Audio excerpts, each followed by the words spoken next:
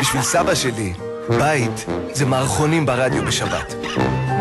פעם הוא כל כך צחק, שהוא כמעט נחנק מהסלט. בקיץ אחרי הים, אנחנו הולכים לחבר שלי לאכול.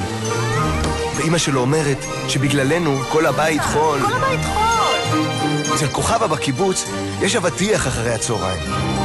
פעם היא הצילה אותי, שכמעט שתיתי אחרי אבטיח מים. ויש את הבית של סגן אלוף גרוס מהצנחנים, ושל המשפחה הזאת שיש לה חמישה בנים. ושל סבתא לאה, שתמיד דואגת שהאוכל ייגמר. ועוד המון בתים, כל אחד עם סיפור אחר. אם שואלים אותי מה זה בית, אני מרגיש על קצה הלשון את התשובה. כי טעם של בית זה תמיד טעם של תנובה. תנובה, לגדול בבית ישראלי.